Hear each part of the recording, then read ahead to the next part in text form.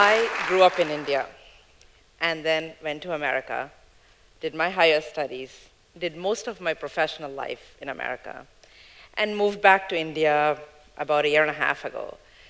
And I wanted to write about the East and the West. What can we learn from each other? I just wanted to come up with this brilliant book. And then I found my biggest stumbling block. What is East? Is it India? Is it China? Is it Pakistan? Is it Bangladesh? Is it Vietnam? I mean, we are all so different from each other. And what is West? Is it America? Is it Britain? Is it Hungary? We are all so different from each other. And that's when I understood that generalities are sometimes dangerous. And the only thing I can do is to explain what I observed in my experience of moving between cultures. So the biggest thing is that there are differences. It doesn't matter whether you grow across countries or go across the street between parents and children, there are differences.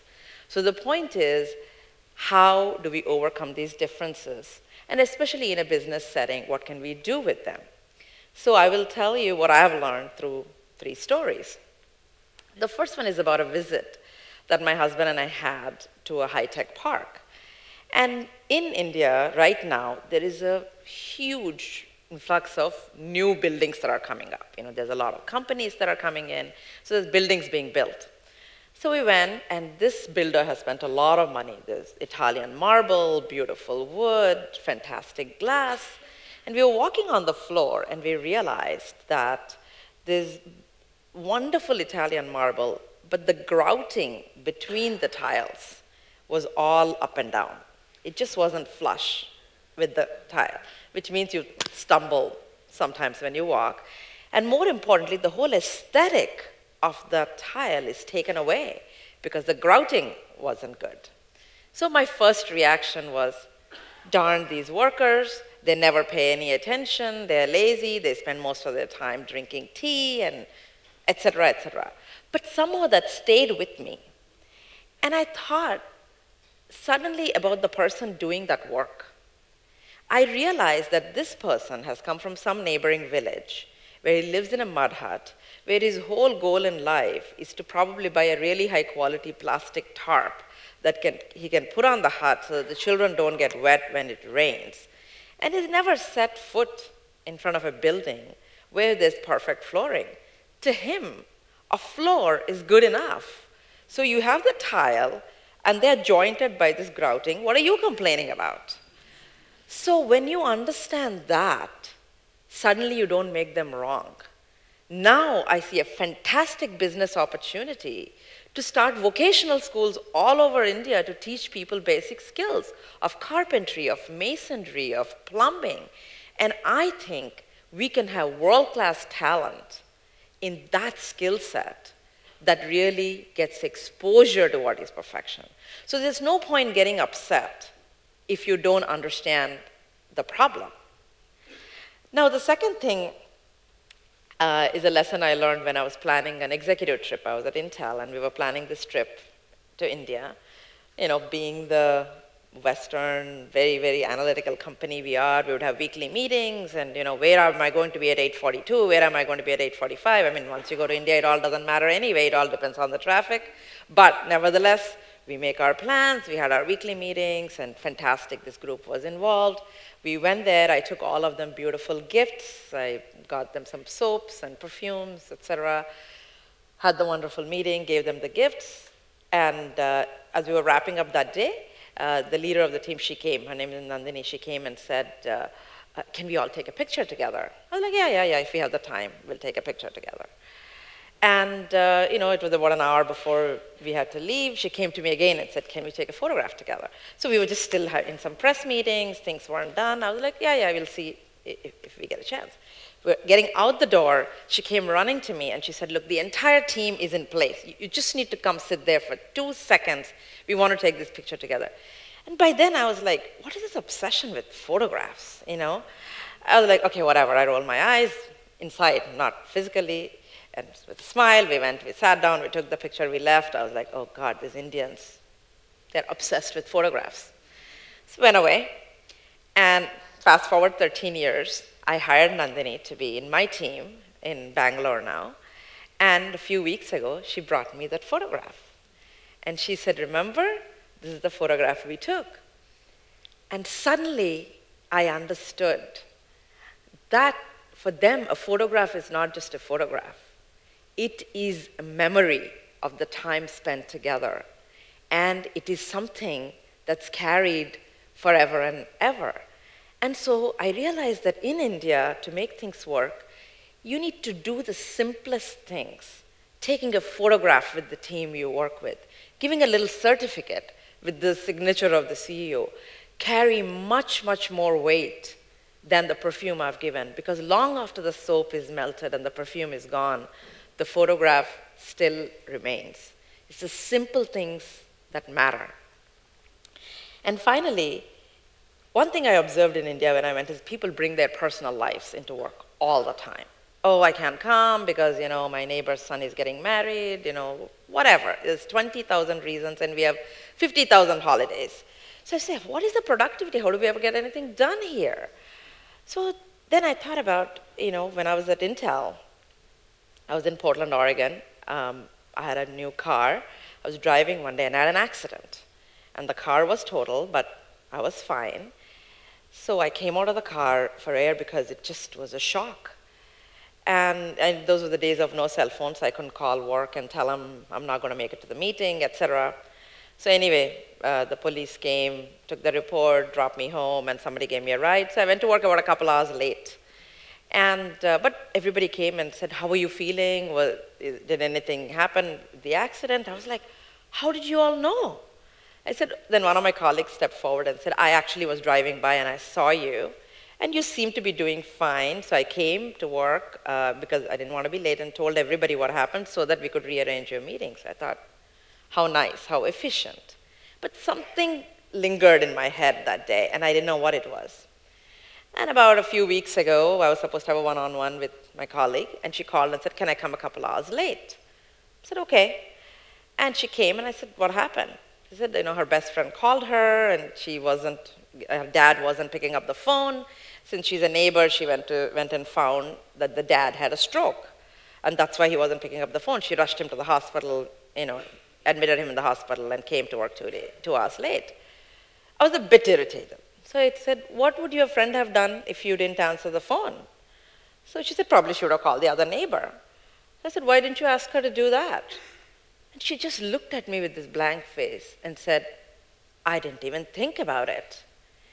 And that's when I remembered that accident in Portland and I understood what is it that nagged me is that I wish my colleague pulled over and came to me and just gave me a hug. Because sometimes in our rush to get to where we want to, we forget to take the time out to help somebody who's in need. And it's okay to bring that into work because that's what makes work really life. So, with these three lessons, I understood something that there are companies out there who actually can turn the weaknesses into benefits. This last point I talked about, bringing your home into work. There's a company called Sierra Atlantic.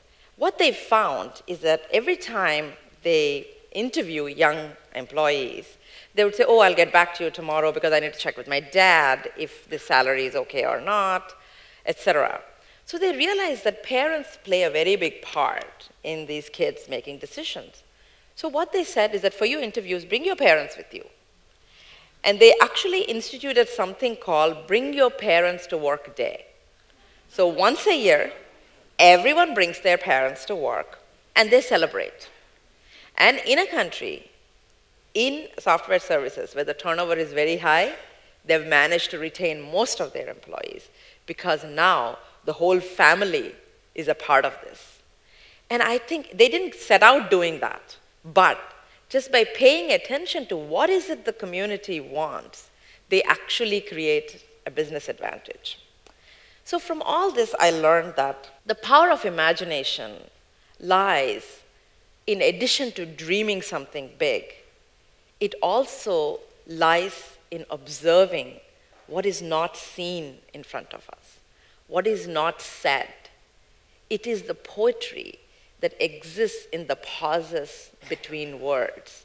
If we pay attention to the culture, if we pay attention to the community, we can actually turn the things that we see as negative into opportunities.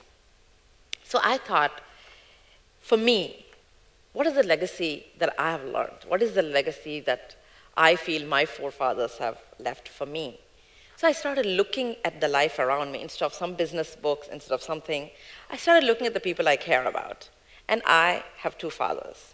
One is my biological father, and the other one is who I call my corporate father.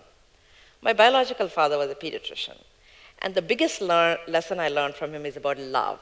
I used to always argue with him. You had an arranged marriage, you didn't even know mom when you got married. What do you know about love? You know, it's about this looking at somebody across the room and your eyes lock and this fluttering of the heart and it's holding hands and all this stuff. To me, love was his passion. And he always used to laugh and say that whether you love and marry or marry and love, the real work starts after getting married. And um, you know, my sisters always used to tell me this story of my mom and dad always loved to go for a walk in the beach. And my mother didn't know how to ride a bicycle, but she used to love pushing my dad's bicycle. So every Sunday, they would go to the beach. While the kids were playing behind, they would walk with my mom pushing his bicycle, and two of them would chat. And when da my dad was 45, when my mother died, and he decided he would never marry again because he said, I had my best friend, I have three daughters, I have a great profession, I don't need anybody else. And to me, now, when I think of all the things he wrote, the things he, had, he said, I understand that he understood love more than anyone I've seen who fell in love. And to me, whenever I drive uh, on Marine Drive in Chennai and look at the beach, I look at the two people walking with the woman pushing the bicycle, and that is my definition of love. And the other definition of legacy is what I learned from Andy Grove, who is the son of this land, who was the CEO of Intel, who I consider my corporate father. I interviewed him and I asked him, what is, how do you grade yourself as a CEO? He thought about it and said, B plus. And I was kind of surprised. I said, in your regime, the company has become the largest semiconductor company in the world. And, you know, Andy is not quite a man of humility. And I said, why do you give yourself a B plus? And then he said something that was really interesting for me, that he said the true test of a CEO is not what the about the performance of the company when he leaves. It is what happens to the company five to 10 years down the line. It is, did he leave enough legacy, enough plans, enough products in place so that the company is successful much longer after he left? And he felt that he did not do a good job of leaving future plans. And that kind of an honest look into yourself and seeing what is my own contribution is something that I learned from Andy, and I consider that my biggest professional lesson. So, I think about what do young economies like India, like Hungary, like many other countries, what do we have to look forward to? And this reminds me of a story. I'm from the land of stories after all. This is the story of an elephant who gets caught and taken to the zoo. Baby elephant goes to the zoo, big rope, big wooden post, it's tight to the post. It tries one day to get out, can't get out, tries second day to get out, can't get out, tries for 10 days to get out, and it can't and it just resigns to its fate and just stays in the zoo. Years pass by, and one day a little boy comes to the zoo and he asks the zookeeper, you know, why does this elephant look so sad? And the zookeeper says, because it doesn't want to be here. We brought it and, you know, we tied it and, you know, for 10 days it tried to escape. It couldn't escape and it just resigned itself to its fate. And the little boy says, but the elephant is this big, the rope is this small, and the wooden post is yay big. All it takes is for the elephant to yank, and it can be free. Why isn't it doing that? The zookeeper says, the elephant now believes it cannot get out. It doesn't see its own strength, that it has grown, it has become big. It doesn't see its own strength. That's why it's staying the way it is. And for me, when I see economies like India, we haven't realized our own strength yet. And I think if we do, I think we will create a world, in fact, where we don't follow norm. All of us, I think, should celebrate our differences, should hang on to our differences, and yet try to understand each other's language. And we have the true opportunity to redefine success. And that is what I feel the new economies can contribute to the world. Instead of looking at success as the billions of dollars you accumulate in a bank, we have to redefine it as something that takes into account this idea of bringing work into life, this idea of being there for each other, this idea of how do we contribute to the communities. And I have come up with an idea. One of my favorite quotes is that life ought not to be measured in the number of breaths we take, but the number of moments that take our breath away. So, really, really, the true treasure is in hungrily, greedily collecting these moments. You know, taking the time and savoring that little kiss your child leaves on your cheek, and that breeze that touches your face, that friendship you start, and that conversation you have.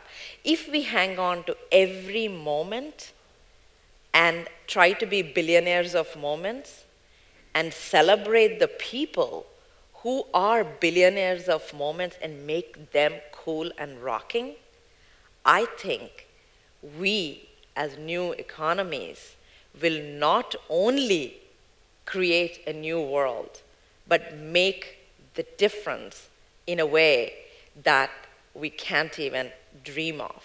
So I invite all of you to join our club of billionaires of moments. Thank you. Thank you.